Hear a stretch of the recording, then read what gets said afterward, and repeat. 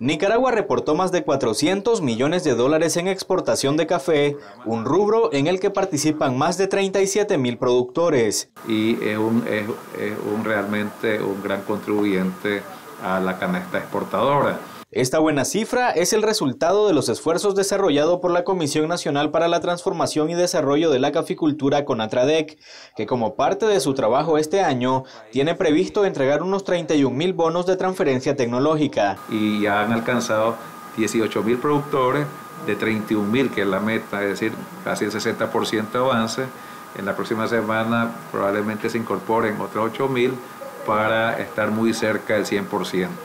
Otro de los temas tratados en la reunión virtual que sostuvo el Sistema de Producción, Consumo y Comercio fue un encuentro con la representación de la FAO en Nicaragua, donde se abordaron los avances en el trabajo conjunto en la cadena de producción de los rubros de ganadería, café, cacao y frijoles. Esos cuatro productos eh, son más del 40% de toda la canasta exportable.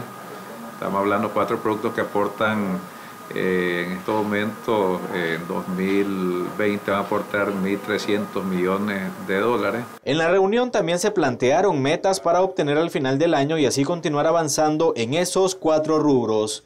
Con imágenes de Agenor Obando les informó Jimmy Altamirano.